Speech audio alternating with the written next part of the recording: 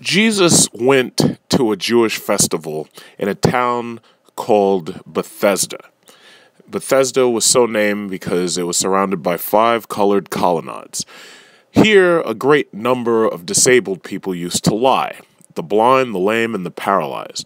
There was one invalid there for 30 years.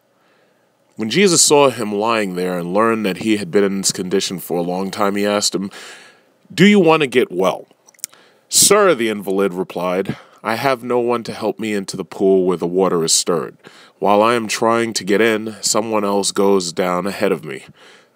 Then Jesus said to him, Get up, pick up your mat, and walk.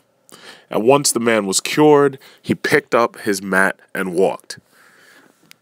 I say all that to say this.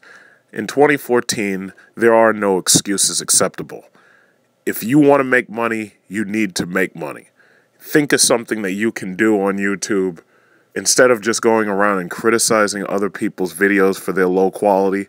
And maybe, just maybe, you might be able to make a constant 500, 550, or maybe even more than I do per month on YouTube. No excuses. Pick up your bed and walk.